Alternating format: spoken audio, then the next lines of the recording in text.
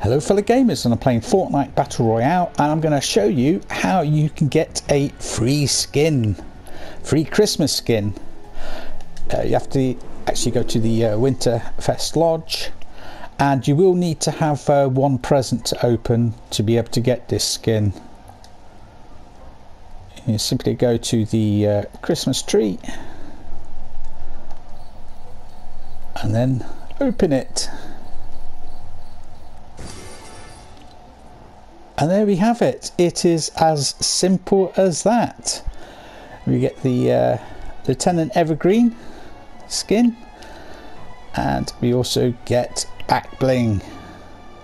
Just a really quick video and uh, I wish everybody a very happy Christmas and uh, thank you to everyone for supporting my YouTube gaming channel over the uh, past few years. Let's uh, just go on to the skin. It? There. And of course we get the uh, the black back bling as well. Honestly, I haven't been drinking. so there we have it.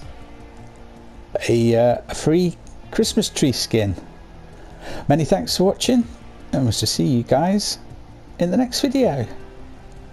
And don't forget to use my create code. Bye bye for now.